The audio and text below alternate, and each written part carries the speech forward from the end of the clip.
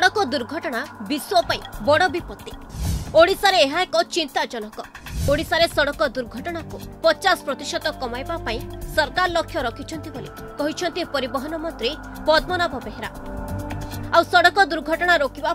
highway पेट्रोली को जोरदार मंत्री सेपटे विभाग प्रमुख सचिवों कहवा कथा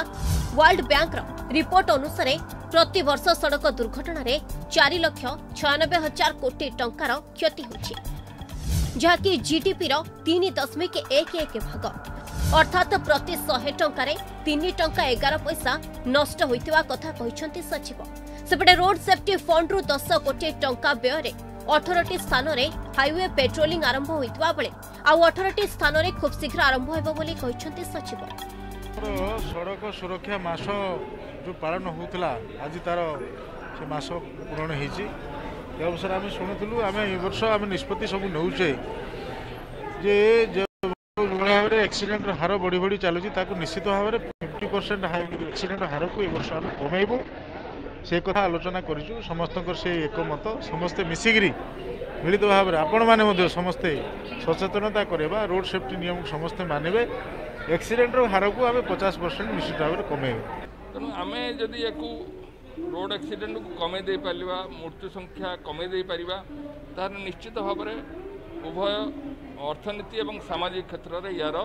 ଉନ୍ନତି ଆଣିପାରିବା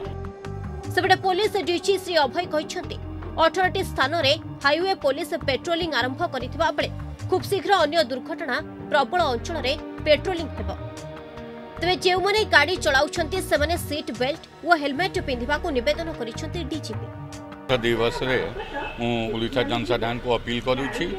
कि निश्चय हेलमेट पिंधतु जिते बेले टू व्हीलर यूज एंड जिते बेले फोर व्हीलर रे बस निश्चय सीट बेल्ट पहनतु आपन पई आपन परिवार पई एटा बहुत जरूरी हाईवे पेट्रोलिंग पई कोन व्यवस्था हाईवे पेट्रोलिंग पई आपन जानछंती कि 18 टा जगह रे हमर हाईवे पेट्रोलिंग आरंभ हला অনেবল চিফ মিনিস্টর তার ইনাগুরেসন কলে আউ ছটা জায়গায় অত্যন্ত শীঘ্র আরম্ভ হবে